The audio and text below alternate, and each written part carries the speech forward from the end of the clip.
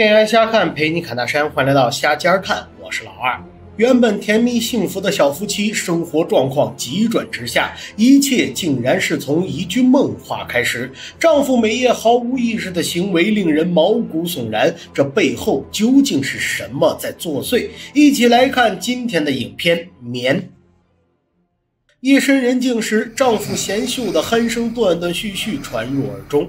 秀珍早已习惯了这细碎的声音，有时听起来反而安心。可今晚不一样，贤秀的鼾声突然中断。秀珍在半梦半醒间回头看来，怎料丈夫竟直挺挺地坐在床边，任凭她如何呼唤，男人都一动不动。忽然，贤秀喃喃自语般嘟囔了一句：“有人进来了。”这话让秀珍脊背发凉，她连忙追问丈夫是什么意思，不料贤秀却径直往床上一躺，再也没了下文。秀珍本以为是丈夫排练太过劳累，就连做梦也不忘记背台词，只是她刚嗤笑出声，房门竟响起了清脆的解锁声。看着虚掩的门缝，秀珍只觉汗毛炸立，脑海中不禁闪过无数恐怖的画面。她连忙摇晃身旁的丈夫，可贤秀睡得很深，根本没有任何反应。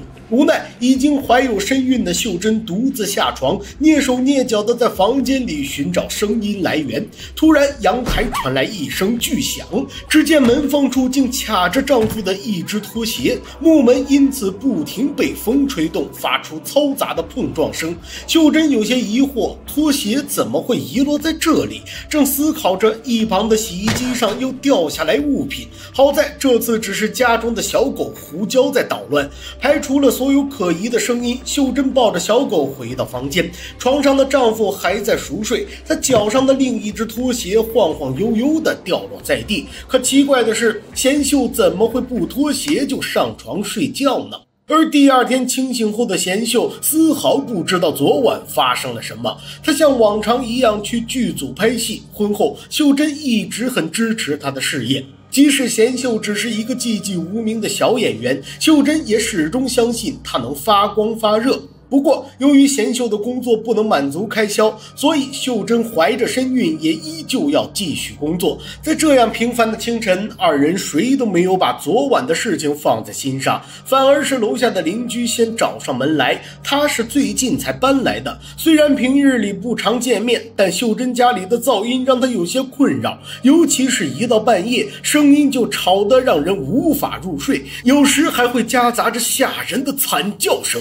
这话让。秀珍想到了昨晚的遭遇，一时间有些脸红，连忙向邻居道歉，并表示以后一定多加注意。只是秀珍也有些委屈，邻居的描述未免太夸张了。明明只有昨晚弄出了一些声音，可那人却称这一周每天都有噪音，这明摆着是无赖。秀珍怒气冲冲地将此事说给丈夫，多亏贤秀笑着安慰妻子，但两人仍是莫名其妙，因为上一任楼下的老爷爷也这样说过。不过这个新邻居看起来更有礼貌。到家后，秀珍跟丈夫说起昨晚的事情，尤其是那句诡异的话，秀珍现在想起还觉得浑身。身发冷，贤秀一看妻子委屈的要哭，连忙安慰道：“那是自己的台词。”为了证明，他甚至还拿出了剧本。见里面真的有相同的句子，秀珍这才放心的准备睡觉。此时的贤秀已经入睡，可不知为何，梦中的她有些反常，不断挠着脸颊，直到皮肤红肿不堪。秀珍连忙制止丈夫疯狂的行为，但即使这样，贤秀也没有停下动作。清晨醒来的秀珍满脸震惊，身边的丈夫满手满脸都是鲜血，一侧的脸颊已经皮开肉绽。贤秀在睡着时。究竟做了什么？怎么会把自己弄成这个样子？秀珍焦急地想带丈夫去医院，可贤秀今天有拍摄任务，根本顾不上清理伤口。只是她的脸已经伤成这样，即使到了剧组也没有办法出镜。为了不耽误全组的进度，导演决定将贤秀所有戏份删除。这对她而言简直是毁灭性的打击。看来自己始终不适合这个行业。见丈夫想要放弃，秀珍连忙给他打气。有网友和贤秀出现过同样的症状，在去睡眠诊所治疗后，已经完全恢复了。所以只要两人齐心协力，就一定能渡过难关。在妻子的安慰下，贤秀这才鼓起勇气。但因为脸上的伤口，她必须好好休养一段时间，害怕丈夫会再次无意识地抓伤自己。秀珍给她戴上了隔热手套。本以为可以万无一失，谁知床上的丈夫竟猛然起身。正在加班的秀珍被吓了一跳，可等她反应过来时，贤秀已经打开房门来到厨房。她一言不发地站在冰箱前，疯狂往嘴里塞着生鱼生肉，看着丈夫大口咀嚼、不知满足的模样。秀珍感觉胃里一阵翻涌，趴在水池边不停干呕，而贤秀也在此时来到身边。他如同一只傀儡木偶，行为举止无不透露着诡异。秀珍忍不住后退半步，可贤秀却像看不见一般，径直冲向水龙头，大口喝着生水。那双没有闭上的眼睛，就像死鱼一样，直勾勾地盯着秀珍。他一时间呆立在原地，不知如何是好。家中的小狗也发出惊恐的狂吠声。贤秀似乎很反感，眼神愤恨地盯着饲养多年的宠物，那副神情让秀珍感觉无比陌生。这还是那个富有亲和力的丈夫吗？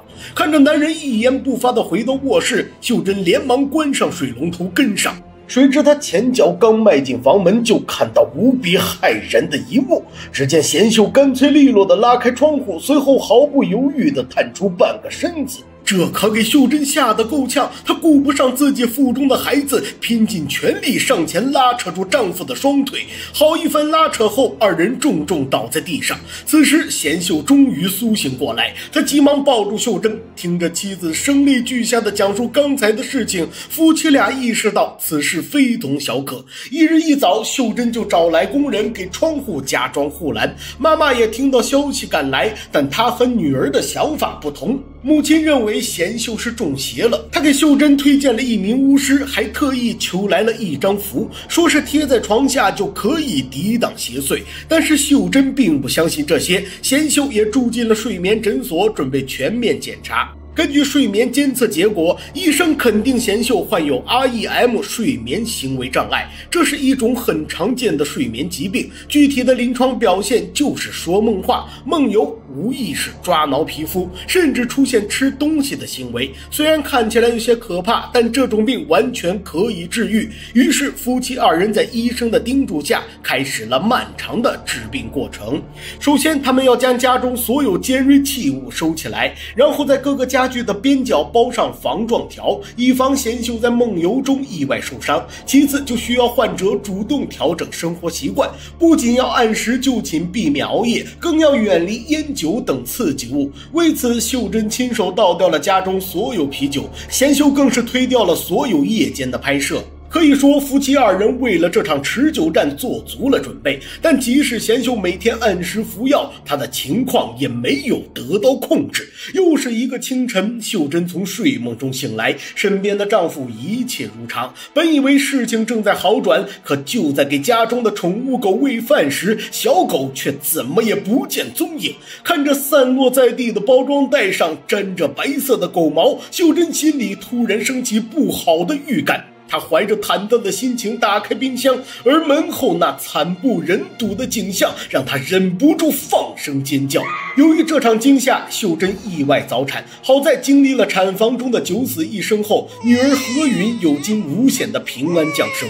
看着开心到手舞足蹈的丈夫，秀珍打消了心底的顾虑。哪怕母亲因为小狗的事情劝她离婚，秀珍都没有同意。她知道丈夫只是生病了，既然是夫妻，就应该共度难。关，更何况丈夫也在积极治疗，她相信两人一定能战胜病魔。可天底下哪个父母不担心孩子的？贤秀也感觉自己现在的情况很危险。他在家附近找了一间临时房，住宿条件还不错，能在治疗的这段时间里过渡一下，以免出现更加严重的情况吓到妻子和孩子。但秀珍不同意，夫妻本是同林鸟，哪有大难临头各自飞的道理？她让丈夫趁早打消这个念头，无论遇到什么困难都要一起面对。二人准备了更多方案。比如在门上加装锁舌，购买包裹感较强的睡袋，这样就可以在睡觉时限制贤秀的行动。整理完一切后，秀珍突然听到一阵狗叫声，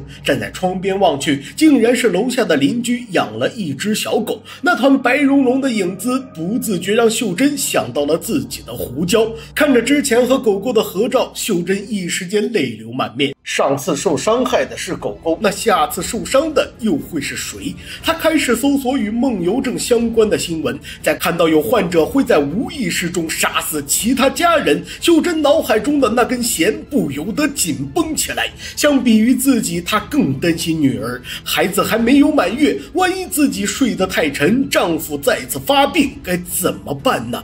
不信任感一旦出现，就会一发不可收拾。为了确保万无一失，秀珍。又往熟睡的贤秀嘴里塞了两颗药丸，可即使这样，她依然不放心。秀珍决定将婴儿床搬到客厅，自己就睡在旁边的地上。但如果丈夫半夜从另一个方向接近孩子怎么办呢？秀珍越想越怕，忍不住在房间里来回踱步，脑海中的恐怖设想越来越多。最后，她竟抱着孩子躲进了卫生间。秀珍一刻不敢放松，睁着眼睛躺在浴缸里，怀中死死抱着熟睡的女儿。而她的担心并不多余，还没到半夜，门口就响起咚咚声。秀珍试探性的呼唤丈夫，可却没有人回答。看来贤秀再一次梦游了。推不开门，让男人很是烦躁。他不停晃动着门板，暴躁的撞击声吵醒了何允。孩子躲在秀珍。怀里不安地啼哭着，等了好一会儿，癫狂的撞门声才终于停止。秀珍试探性地拉开房门，只见丈夫正对着女儿的婴儿床小便，而她本人却对此浑然不知。天亮后，那个用来束缚贤秀的睡袋已经被她压在身下。无奈，两人只能再度求助医生。此时，秀珍的精神已经高度紧绷，因为连夜的睡眠不良，她比身旁的丈夫更像病人。那双通红的双眼死死盯着医生，耳朵里却听不进对方的任何一句话，因为医生翻来覆去说的都是无用的废话。她自己都要被丈夫的病逼疯了。最近几天，秀珍根本不敢回房间，只能带着女儿躲在卫生间睡觉。再这样下去，她真……的要崩崩溃了！听到医生不肯换更加有用的药物，秀珍愤怒地将处方单扔在他脸上。丈夫连忙上前道歉，并带走了情绪极其不稳定的妻子。可这并没有用，秀珍依旧无比焦虑。她不停抱着孩子在房间里踱步，贤秀只能拼命安慰妻子，表示自己一定会找到办法解决。但眼下所有的状况都让秀珍坐立难安。他躲在小区花园，试图用吸烟抚慰心中的烦躁。楼下的邻居见他如此紧张，不由得劝他考虑离婚。既然身边有无法解决的不稳定因素，那就像他一样，直接将事情从源头上解决。邻居是个单身妈妈，独自一人抚养着儿子，而她的生活也并没有因此变得不堪，所以他相信秀珍也可以做到。但这话依旧没有让秀珍动摇，因为他们夫妻还在一同努力。为了能让妻子睡个好觉，贤秀在寒冷的雨夜带着睡袋躲进车里。但秀珍根本不忍心。权衡利弊后，二人决定在卧室门上加装门锁，每到晚上睡觉的时候，就将贤秀锁进卧室，而妻子和女儿则睡在客厅。但这样下去也不是办法，贤秀总有需要起夜的时候。鉴于秀珍现在已经不愿相信医生的安排，母亲便请来了那位巫师。女人的气场十分凌厉，一进门就直接拿出法器，众人被她煞有介事的模样唬住，一时间谁都不敢多嘴。巫师摇晃着铜铃在屋中扫荡。据他所说，鬼经常会附到睡觉的人身上，因为每当这个时候，人的灵性都会减弱。话音刚落，他手中的铜铃直直伸向贤秀。此时，男人正哄着怀中不停啼哭的女儿。巫师盯着他的头顶，露出了然般的笑容。贤秀还在一脸茫然，但巫师已经知道了问题所在。他表示，家中确实有不安的鬼魂，他正是被年轻漂亮。的秀珍吸引而来，要与夫妻二人同住在一个屋檐下。巫师冲着贤秀疯狂晃动铜铃，嘈杂的声响让女儿啼哭不止。贤秀只能拼命安慰女儿，而巫师却像听不见一般。突然，他停下所有动作，眼神蓦然变得骇人无比。只见巫师犹如鬼上身一般，死死盯着秀珍。他用着令人头皮发麻的声音说道。没有狗叫声，没有婴儿哭声，好想安静的活着，和你两个人一起。这话让所有人不寒而栗。难道家中真的有鬼？而且这个鬼还要对女儿何允下手？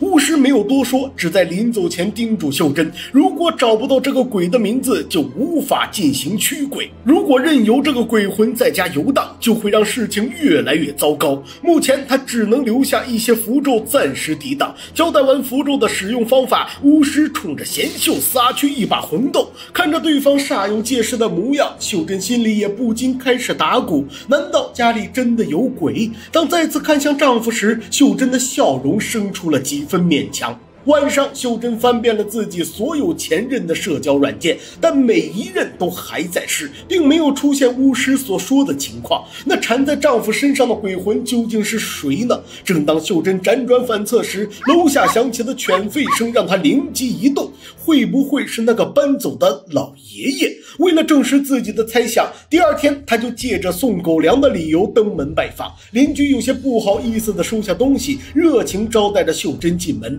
可刚一一坐下，秀珍就听到天花板上传来一声巨响。此时家中并没有人，怎么会出现如此重的脚步声？看来自己的房子确实有几分诡异。怪不得邻居之前总说能听到噪音。秀珍不敢耽搁，趁机询问起前任房客的事情。谁知那位老爷爷正是邻居的父亲，这让秀珍心底升起一丝不安。她顾不上话题冒昧，连忙追问邻居父亲是否还在世。可还没等邻居开口，男孩就指着卫生间表示爷爷死在了这里。这个消息如同五雷轰顶般，他想不出任何安慰的话语，只能愣愣地追问着死。去的爷爷叫什么名字？得到答案后，秀珍在那份名单上郑重地写下“朴春姬”三字。附在丈夫身上的鬼魂会是她吗？或者说家里？真的有鬼了！秀珍呆滞地看着在厨房忙碌的贤秀。近日，因为她精神状况不好，丈夫一人肩负起了所有家务。原本是件应该开心的事情，可秀珍此刻却觉得丈夫迷雾重重。她已经看不清面前的人究竟是谁。趁着贤秀熟睡时，秀珍打开了卧室房门。她轻声呼唤着丈夫的昵称，但床上的男人毫无反应。于是，秀珍试探性的喊了声“爷爷”，岂料。睡得正香的贤秀发出一阵呢喃，就像是在回应一般。秀珍被这举动吓得几乎发疯，她忍不住拔高音量质问对方是不是要伤害自己的女儿。谁知贤秀也一语这回复不知道。如此有来有往的回答让秀珍汗毛乍起。回想巫师说过的话，没有狗叫声，没有婴儿哭声，只有我们两人一起安静的生活。而已经遭遇不测的小狗胡椒，不就正好印证了这句话吗？他不敢接着想下去，生怕女儿真的遭遇不测。秀珍拿着厨刀在客厅守了整整一晚，直到第二天太阳升起，贤秀一个翻身摔醒，他才打开了卧室的门锁。此时，秀珍双眼通红，呆滞的神情里透露出些许陌生。她死死盯着贤秀，仿佛已经在那里看到了另一个鬼魂。贤秀将在床下发现的符咒交给妻子，询问他为什么要贴这种东西。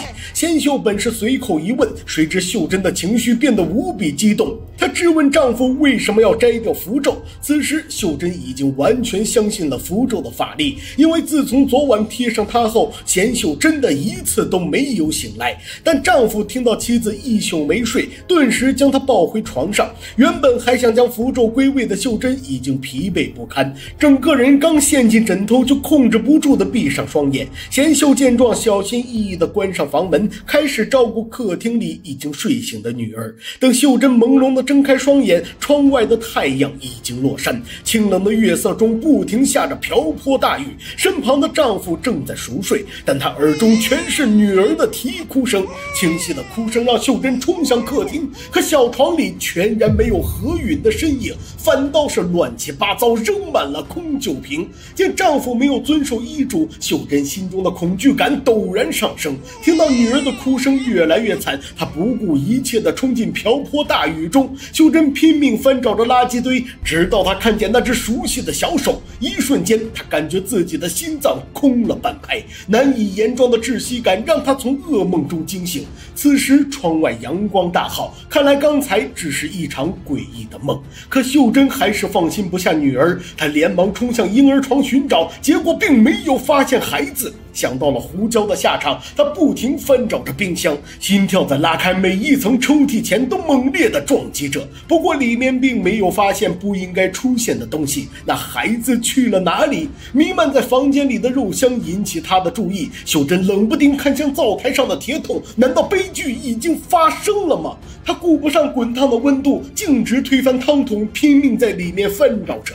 就在这时，贤秀抱着孩子从卫生间出来，看来所有的一切都是秀珍虚惊一场。丈夫看着妻子被烫伤的双手，连忙替她处理伤口，但秀珍已经被噩梦吓怕，她毫不犹豫将丈夫砸倒在地。等贤秀从昏迷中清醒过来时，妻子正握着厨刀压在她身上。此时，秀珍神情癫狂，她已经完全相信丈夫被老爷爷附身。秀珍质问鬼魂到底要做什么。说话间，锋利的刀尖刺穿了贤秀的皮肤，殷红的血珠从脖子上滚滚而落。丈夫连忙拔高声音让妻子冷静。今天医院已经打来电话，医生同意给她更换更有效的处方药，只要积极治疗，他的病很快就能好转。或许是这番话让秀珍恢复理智，扔下厨刀甩手离开。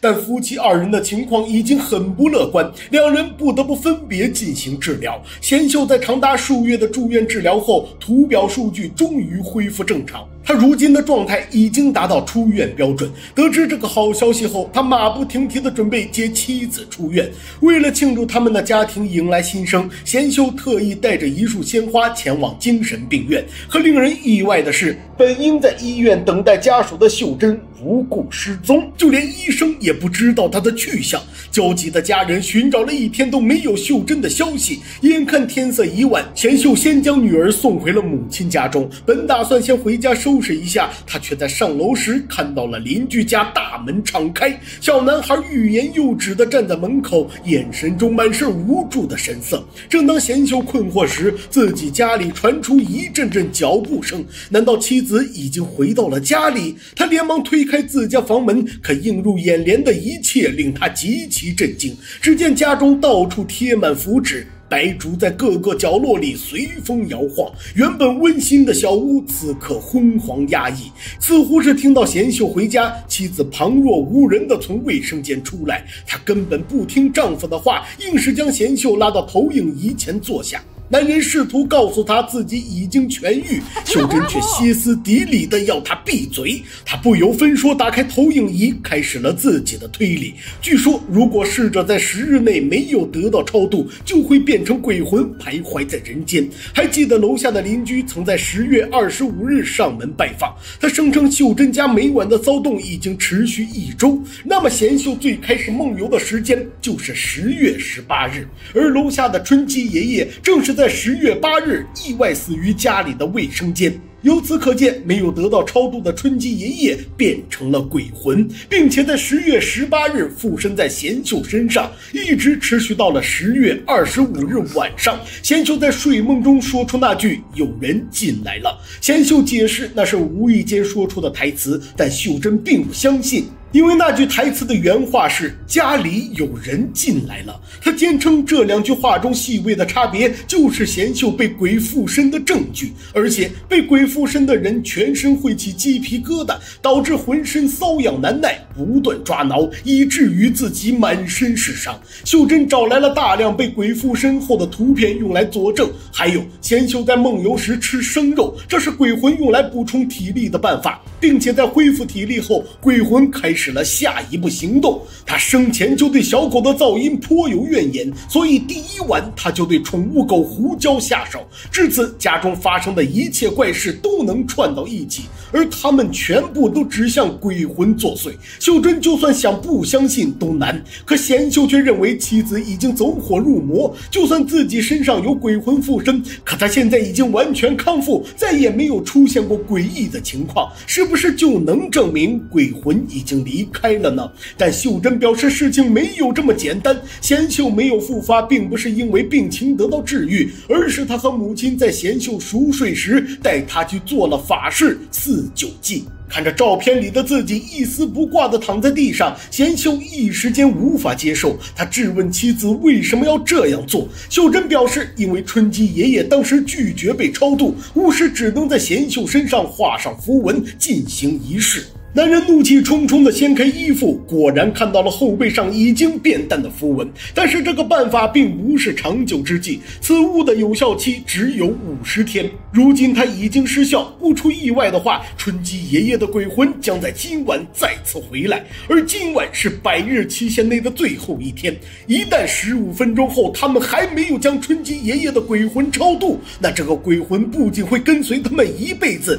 女儿何云也将永远生活在。在危险中，虽然贤秀并不相信这些，可看着妻子已经陷入执念，他不得不答应这一场驱魔。但贤秀没有想到，妻子选择的方法竟如此极端。秀珍竟亲手了结了邻居家的小狗，看着妻子嘴边的血迹，贤秀忍不住冲进卫生间一阵狂吐。但更骇人的事情还在后面，邻居竟然浑身是伤的被绑在浴缸里。已经癫狂的秀珍将女人拖出来，拿起电。钻抵在邻居的太阳穴上，秀珍看着贤秀厉声出言，实则却在和他体内的鬼魂对话。他要以眼还眼。牙还牙，如果鬼魂再不离开，秀珍就要对他的女儿下手。邻居听到这话，连忙配合的呼唤起父亲。可贤秀还没有弄清眼前的状况，眼看着距离十二点只剩下五分钟，秀珍在焦急的等待中彻底癫狂。见没有得到自己想要的答案，他果断按下手里的开关。邻居只感觉一阵剧痛钻进自己的皮肤，鲜血瞬间四处飞溅。贤秀知道自己如果再再不做些什么，事情将发展到不可收拾的余地。一瞬间，他的语气变得无比苍老。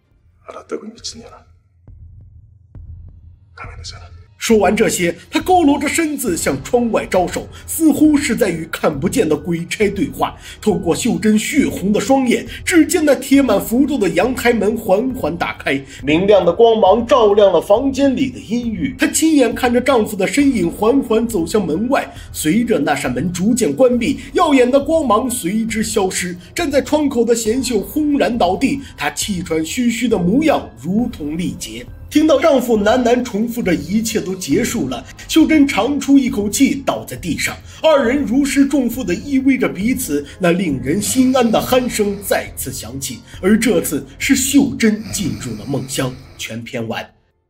棉作为上映于二零二三年最新的韩国恐怖片，全片没有给到任何一个鬼怪的镜头，但全程惊悚悬疑的气氛却让老二始终捏着一把冷汗。影片中究竟有没有鬼呢？一种可能是，正如秀珍推断的那样，怪事就是从十月八日楼下老爷爷独自死于家中开始。他调查到的种种证据都严丝合缝，很难不让人相信这一闹鬼的说法。反之，则是第二种可能，一切都只是一场巧合。贤秀的各种反常表现都是梦游症所致，而最后所谓的驱鬼，也只是他为了消除妻子的心魔所配合出演的一场戏。老二感觉说楼下的老爷爷喜欢秀珍，从而附身贤秀，未免太过牵强。影片中也并没有任何的线索，老人和秀珍。家的关联仅仅是小狗叫声引发的邻里纠纷，其他的就再也没有任何瓜葛了。所以老二个人觉得，影片结尾更像是贤秀配合妻子演的一场戏，结合妻子刚刚生过女儿，也会有产后抑郁的可能性，才会出现撞鬼的想法。小伙伴们有什么看法呢？欢迎在评论区和老二留言讨论哦。